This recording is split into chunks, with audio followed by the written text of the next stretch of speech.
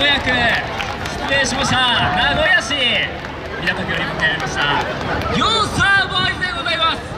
さあ2018年から4年の時を経てここ府総町で復活演舞となりますさあプールサイドもとい観客席そしてイオンのこの駐車場広場全体を熱々にしていけたらと思っておりますさあいろんな意味でギリギリを攻めた野郎たちの全力演命どうぞ皆様お楽しみください。よろしくお願いします。